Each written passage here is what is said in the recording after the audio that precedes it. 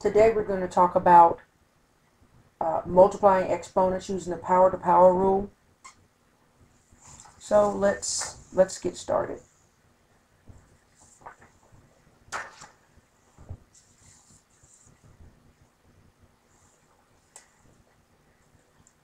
Okay, so if I had x to the third power in parentheses raised to the second power. If I have an exponent on the inside of my parentheses and an exponent on the outside of my parentheses, I'm going to multiply those two exponents.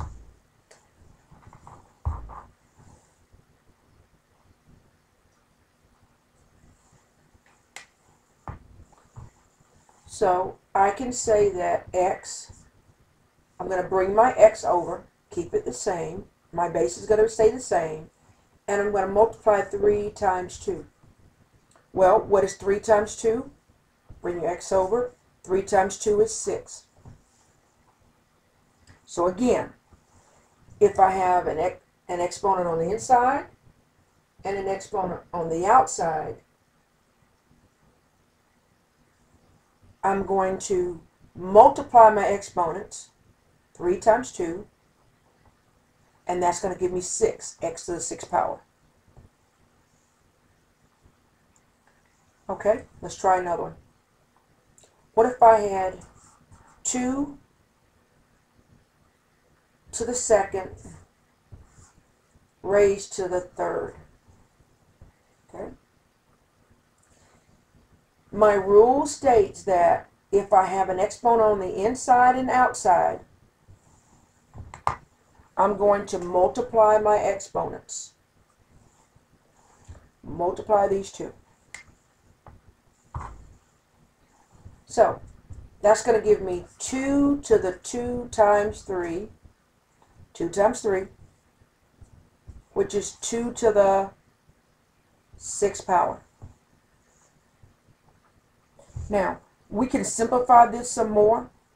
Um, if you need to know how to simplify this, please watch my video on on um, multiplying exponents with the same base. But since, since this is the first problem that I'm going to do, I'm going to go on and simplify this so you'll know, have some idea, and know that you can't leave it like this. Okay?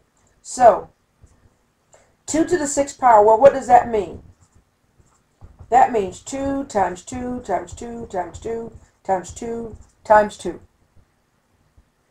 So I'm going to multiply 2 times 2. That's going to give me 4 and bring down my 2's. I'm going to multiply 4 times 2, which is 8, and bring down my 2's. I'm going to multiply 8 times 2, which is 16, and bring down my 2's.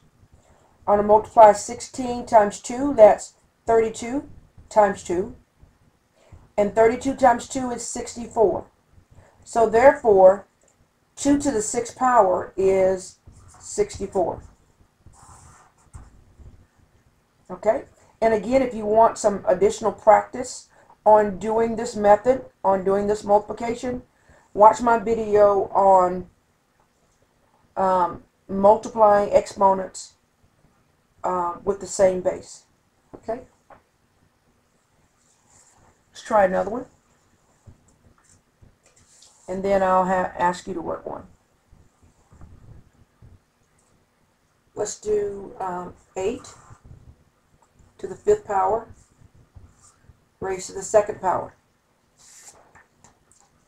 Okay, so that's going to be, since I have an exponent on the inside and an exponent on the outside, I'm going to multiply my two exponents. I'm going to bring my 8 over. Bring my 8 over here. So I have, I'm going to multiply 5 times 2. Well, what is 5 times 2? That's going to give me 10 as my new exponent, and I'm going to bring my 8 over.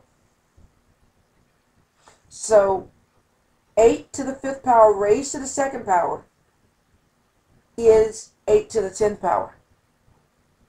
And we can also simplify that some more. Okay? If you'll please work this one.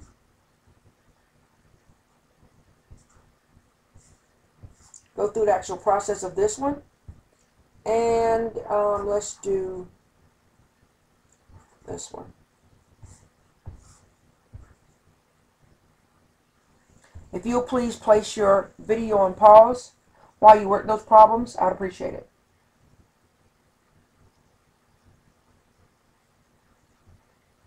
All right. So now that we have, we're going to multiply 4 to the 7th raised to the third power. So I'm going to multiply these two. So that's going to give me 4 to the 7 times 3, which is 4 to the 7 times 3 is 21. And again, we can simplify that some more. The last one that you work, 7 to the ninth raised to the first power. Going to multiply your exponent. That's going to give you 7 raised to the 9 times 1. Well, what is 9 times 1? 7 to the ninth power. And you can simplify that one. Again, that's all for power to a power rule. If you have any suggestions or comments, please email me at mathwithmoon at gmail.com and I will see you next time.